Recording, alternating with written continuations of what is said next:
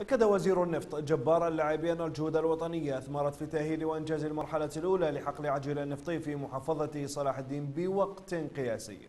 بعد أن تعرض إلى عمليات التخريب والدمار من قبل العصابات الإرهابية مضيفا أنه تمت المباشرة بعمليات التشغيل التجريبي للحقل بعد الانتهاء من تأهيل وربط عدد من الآبار النفطية وبدء عمليات الإنتاج بمعدلات تبدأ من 5000 برميل باليوم وصولا إلى 17000 برميل. وتابع اللاعب أن جهود العاملين في شركة نفط الشمال والجهة الساندة أثمرت في الوصول بإنتاج الغاز من حقل عجيل إلى أكثر من 100 مليون قدم مكعب قياسي باليوم.